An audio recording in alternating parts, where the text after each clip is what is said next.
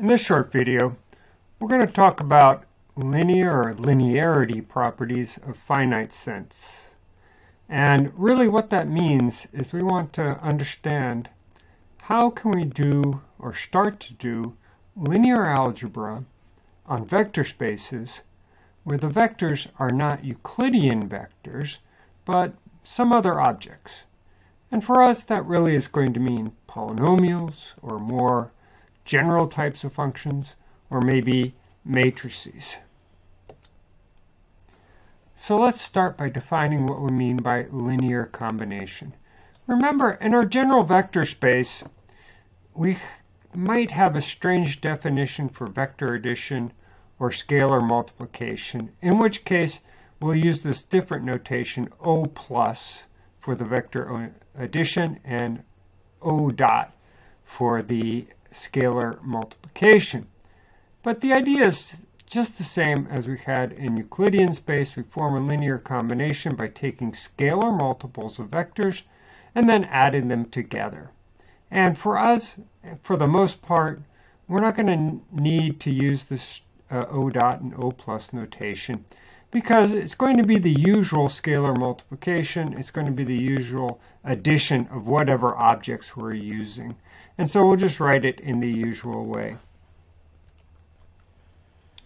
Uh, span still has the same definition that we had with Euclidean spaces. It's going to be the set of all linear combinations of an elements in a set. So for example, remember Pn is the set of all polynomials of degree n or less.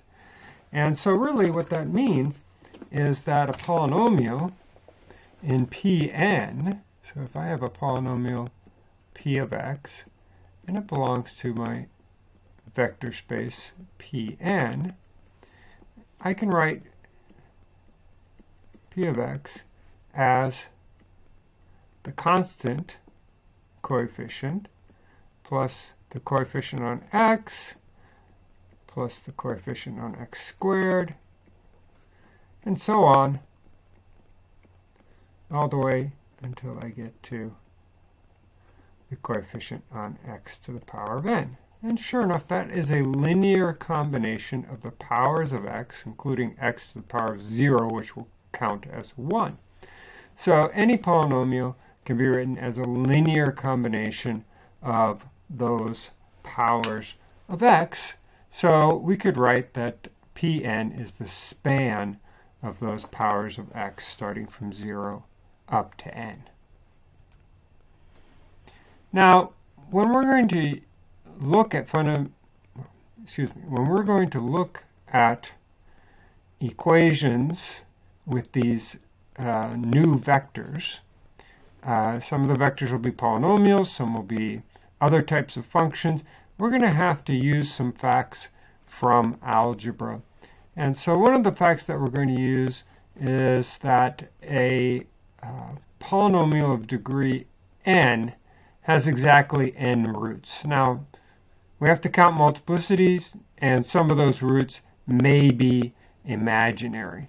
But really what's important for us to understand is that you can only have n, a finite number of them. And so, as an example, if I look at this cubic polynomial, uh, you can factor that out and determine that it has exactly three roots. x equals 1, x equals minus 1, and x equals negative 3. For exponential functions, and in our case, we're going to have our base is always going to be positive. And uh, we're not going to take the base equal to 1 because that really just gives you a constant function. Uh, so for those bases which are positive and not equal to 1, the domain of that exponential function is all real numbers, and the range is all positive numbers. Remember that an exponential function can never be 0 and it can never be negative. And uh, we also have these uh, 0 as a horizontal asymptote. If you have a base which is greater than 1, then as x approaches negative infinity, a to the x approaches 0. And on the other hand, if you have a, a fraction between 0 and 1 as your base, then the, as x approaches positive infinity, a to the power of x approaches 0. And then uh, another property that we're going to make use of is that you can really do a change of base. Normally we see a change of base formula for logarithms, but we know that logs and exponential functions are directly connected. They're inverses of each other, so it makes sense that we're going to have a change of base formula for exponential functions, and it's just based on the fact that uh, any number, any positive number a, uh, can be written as e to the power of natural log of a, because e and natural log are inverses of each other. And so that means that using the properties of exponents, a to the power of x can be rewritten as e to the natural log of a times x.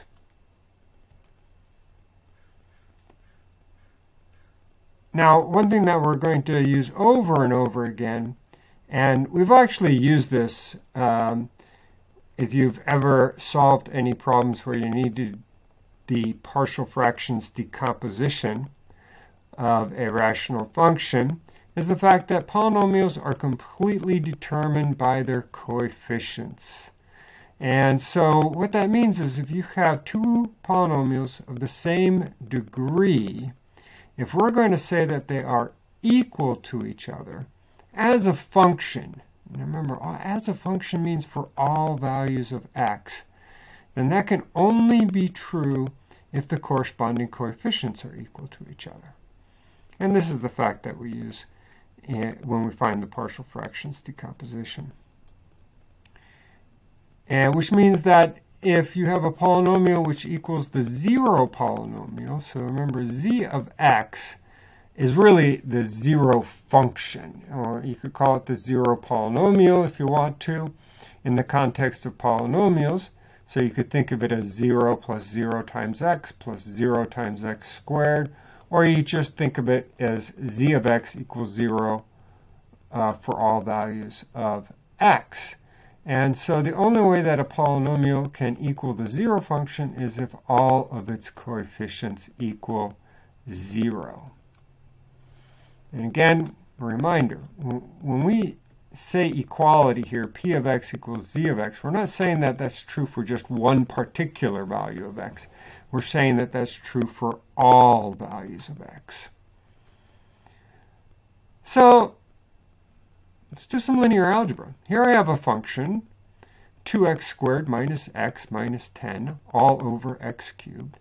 I'd like to know, does that belong to the span of the functions 1 over x, 1 over x squared, and 1 over x cubed? All right, well, let's do some uh, basic algebra. I can distribute the division of x cubed among the three terms in the numerator, and I get 2 over x minus 1 over x squared minus 10 over x cubed. And sure enough, that is a linear combination of the functions in our set. So since it is, it must belong to the span. All right, let's look at another rational function with a different set of functions. So I've got uh, negative x squared minus 5x minus 10 over 2x cubed minus x squared minus 10x. And I'd like to know if that is in the span of 1 over x, 1 over 2x minus 5, and 1 over x plus 2. And uh, if I look at the denominator, I can actually factor that as x parentheses 2x minus 5 and uh, x plus 2. And from there, I can say, oh, well, those are exactly the denominators in uh, my polynomial, I mean, sorry, in my set here. So I can find a partial fractions decomposition. Now, I don't have to go through all the steps in this particular question because it just wants to know, is it in the span? And since the partial fractions decomposition is going to exist, I don't need to find A, B, and C. I can just answer the question and say, yes, it belongs to that span. So now let's talk about linear independence. What would we expect? Well, we can write down a dependence equation. And if that dependence equation only has the trivial solution, uh, that means that all of the coefficients in that dependence equation have to equal zero, then you can conclude that the uh, set is linearly independent. And so it's this dependence equation that we're going to use when we're talking about linear independence or linear dependence. Of course, we would say the set is linearly dependent if you have a non-trivial solution, meaning that there's one of those coefficients, at least one of them, which is non-zero. So let's take a look at this uh, example here. We're given some set of functions. It's defined uh, on an interval i. So that's a subset of functions defined on the same interval, common interval for all of them then we would say that, oh, for functions, the zero vector is that zero function z of x, where z of x equals 0 for all values of x. So we wouldn't say equal to 0. 0 would be a scalar here. We need to put the appropriate uh, 0 vector for this vector space, which would be the 0 function. So if we only have uh, the c's equal to 0, the coefficients equal to 0, then it's linearly independent. Now, and again, this has to work for all values of x in the interval. So these same c values have to be independent of x and have to work for all values of x in the interval. So let's take a look at this particular set. Familiar functions, sine of x, cosine of x, and tangent of x, all of them are defined on the interval from negative pi over 2 to pi over 2. And we'd like to know, is this a linearly independent set? Well, uh, we would have to set up a dependence equation. Remember, on the right-hand side, 0 for this function space means the zero function, so z of x. And we need to find values of c1 and c2 and c3, which work for all values of x between negative pi over 2 and pi over 2. Now it's actually helpful that we have to have the same values of the coefficients for all values of x, because then we can have the following strategy we can make good choices of x, which will help simplify the equation. And let's see an example of what I mean. In this equation, in this dependence equation, I could choose x equal to 0. Whatever c values work for the entire interval have to work for x equal to 0, and that's advantageous because sine of 0 is 0, tangent of 0 is 0, Cosine of 0 is 1, and of course z of 0, z of any number, is 0, and that reduces nicely to c2 has to equal 0, and that has to be true for all values of x. So now we know the value of c2. We still have to determine the values of c1 and c3. Now there's no nice uh, reduction that we can get with sine of x and tangent of x. Uh, but what we can do is choose two different values of x. Say x1 equals pi over 4, x2 equals pi over 3. And if I substitute x1 equals pi over 4, I get the equation that root 2 over 2 c1 plus c3 has to equal 0. And if I use pi over 3, I get root 3 over 2 c1 plus root 3 c3 equals 0. And then we just have to solve this system of equations. Two equations, two unknowns. And uh, we don't have to do any fancy linear algebra here. We can just uh, solve for c3 in the first equation, solve for c3 in the second equation. We could subtract those two or set them equal to each other. In either case, we'd wind up with both C1 and C3 would have to equal 0. And that means that all of the coefficients have to equal 0, and we must have a linearly independent set on that particular interval. Uh, so let's look at some special cases uh, where we can decide if a set is linearly independent or not uh, without having to revert to the uh, dependence equation. So uh, first of all, if we only have one vector, uh, whatever vector means in this particular space, as long as that vector is not the zero vector, then that set is linearly independent. If you have only two vectors, just like in Euclidean space, they will be linearly independent provided that they're not parallel to each other. And, and, and that really means that they are not scalar multiples of each other. Now, if it's functions, remember it's scalar multiples of each other for all values of x in the interval, not just one or a small number of values. It has to be for all values of x in the interval. And then finally, just like in Euclidean space, uh, if you have a set and you can write one of the vectors as a linear combination of the rest, uh, then uh, that is going to be a linearly dependent set. And um, I use this abbreviation WLOG. WLOG is something that you see in mathematics a lot. WLOG. What does that mean? Uh, that is without loss of generality. And what does that phrase mean? That means that in this, we said, oh, we're going to write V1 as a linear combination of the rest. But we could have chosen any of the V's in the set. We could have said Vn is a linear combination of the remaining ones, or V4 is a, a linear combination of the remaining ones. So it's just a, a simple way of just saying we're just going to choose one. It's going to be V1. If we can write V1 as a linear combination of the rest, uh, then it would be the same result as if it were V2 or V5 or Vn. All right, here's another example. We've got three functions. The, the one here means the function f of x equals 1. All right. So f of x equals 1 for all values of x. So this is not the scalar. And we'd like to know, is this a linearly independent set? Well, we have an identity in this case. We have the Pythagorean identity that sine squared x plus cosine squared x equals 1, and that's true for all values of x.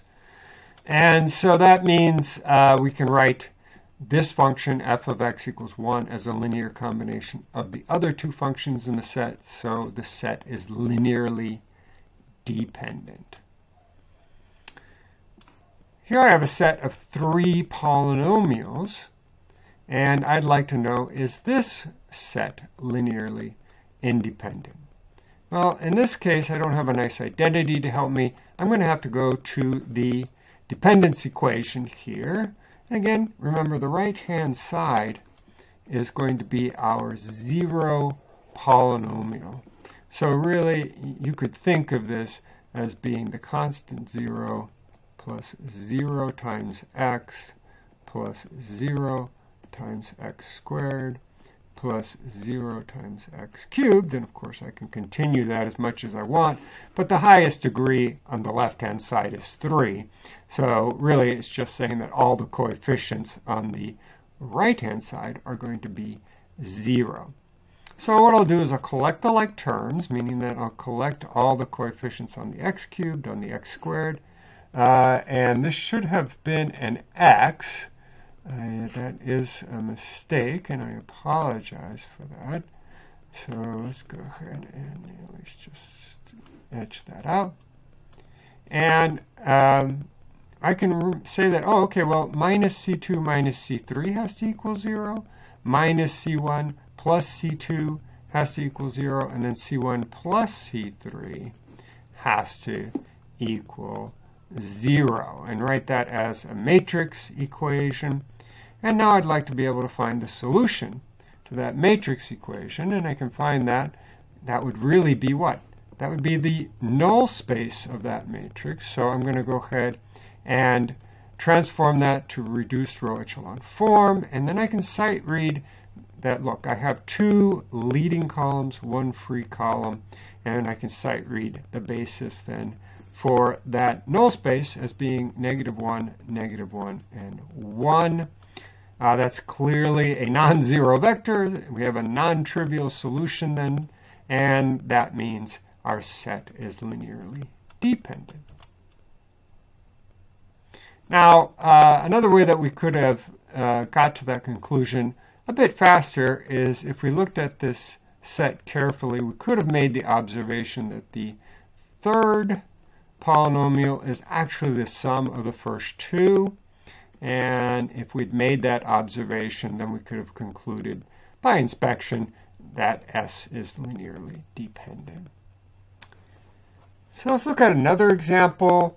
Again, I have three polynomials, and uh, we need to find the solutions to this dependence equation. But here we're going to get a break, because if I look at this carefully, the only uh, term that has an x cubed comes from the third polynomial. So over here, the coefficient on x cubed is 0. All the coefficients are 0. So on the left-hand side, I just have c3 times 2x cubed. That has to equal 0. And the only way that that can equal 0 for all values of x is if c3 equals 0. So I've determined that c3 equals 0. Now I only have two terms on the left-hand side, or two polynomials, and I can make the same observation, that on the left-hand side, the only x squared term will come from this second polynomial. It'll be c2 times x squared. That has to equal 0 times x squared on the right-hand side, which means that, well, c2 has to equal 0. And then finally, uh, if I have c1 times 2 plus x equals the 0 function, well then c1 times x has to equal 0, meaning for all values of x. For all values of x, meaning that c1 has to equal 0. And since the only solution is trivial, then uh, this, the uh, set is linearly independent. Now, why was that so much easier? What, what, what shortcut did we have uh, in this particular example? Well, the degree of each polynomial was different. The only x cubed was in the rightmost polynomial, the only x squared was in the middle. Uh, and so I was able to, to uh, kind of go down in terms of degrees and say that, oh, the coefficient on the highest degree has to be 0, and then I can repeat the process. The coefficient on the next highest degree is 0, and, all, and so on. And so the, if the degree of a set of I mean, sorry, if a set of polynomials has different degrees, then we can conclude that the set is linearly independent. So if I have a set of polynomials, all with distinct degrees, they don't have to be in ascending order, but the degree of each one has to be different, uh, then you conclude automatically that it is a linearly independent set. So that works nicely for polynomials, what about exponentials? Well, we have to use a different approach. We're going to go ahead and write out our dependence equation. Again, in this case, z of x is still the zero function. We just don't think of it as a polynomial now. We just think of it as z of x equals zero for all values of x. Uh, and what we're going to do is we'd like to get we have a great advantage with exponentials and that's because exponentials are never zero. So I can go ahead and multiply through by 2 to the power of x, or you could think of it as dividing everything by 2 to the power of negative x. So I've got c1 by itself with no exponential function multiplied by it. And now we're going to do some calculus and take advantage of the limit properties of exponential functions that we discussed at the beginning of the of the uh, video. So we have a base of 2 that's greater than 1. So I know that as x approaches negative infinity, 2 to any power of x is going to approach 0. So take the limit on both sides. On the right-hand side, it's always 0. So as x approaches any number, the right-hand side is going to be 0. And on the left-hand side, well, the exponentials are going to go to 0. And the constant, of course, doesn't change. So I'm just left with C1 equals to 0. So now I've got a smaller equation, only with C2 and C3, and I can repeat the process. Since 2 to the power of 4x is never 0, let me just divide every term by 2 to the power of 4x. And again, I'll have C2 by itself, and then C3 times 2 to the power of 2x, and of course, if I take 0 and divide it by some positive number, of course, I'll get 0. So the right-hand side is still z of x. Now take the limit as x approaches negative infinity, and I get c2 equals 0. And then finally, uh, here I have c3 times some positive number equals 0 for all values of x, so c3 has to equal 0. And we can conclude then uh, that we only have the trivial solution, C1, C2, and C3 equals to 0. This set must be linearly independent. And this would work. Remember, all of our exponential functions had the same base and their uh, exponents were different. And so, or different coefficients in the exponents. And uh, that will always lead to a linearly independent set. Now, in our theorem here, uh, we're using E as our base. But remember, we have our change of base formula, so this will be true for any positive base. So the base could be any positive number and not equal to 1. And this theorem will still be true. And we'll see that in this example. Here, I actually have three different bases. And the question is, is this going to be a linearly independent set? Well, our theorems only uses E as a base. So let's go ahead, before we can use the theorem, let's use the change of base and rewrite each of these functions in terms of base E. And uh, once I do that, I can see that the coefficient on x in each one of these functions is different. They all have the same base now. So applying the theorem, I can conclude that S is linearly independent.